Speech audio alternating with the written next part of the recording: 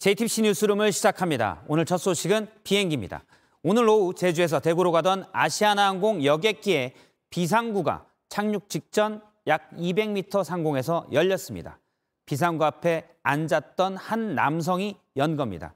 다행히 비행기는 안전하게 착륙했지만 아찔한 상황이었고 비행기 안은 말 그대로 공포였습니다. 승객 몇 분은 호흡곤란으로 병원에 갔습니다. 먼저 윤두열 기자입니다.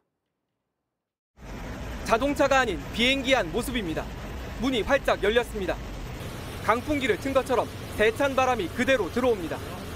승객 194명을 태운 아시아나항공 여객기는 오전 11시 49분쯤 제주에서 대구로 출발했습니다.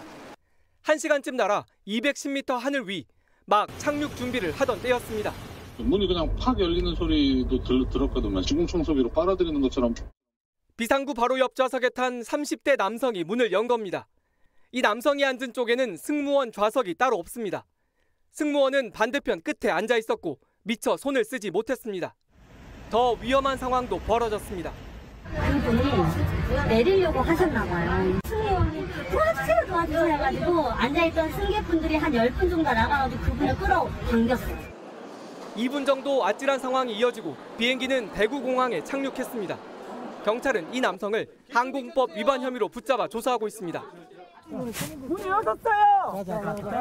전혀 대화가 안 됐습니다. 정신적으로 힘든 부분이 있어 가지고 아무래도 그축 자꾸 몸이 처지는 그런 상태였는데.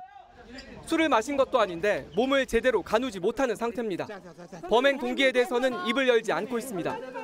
JTBC 윤두열입니다.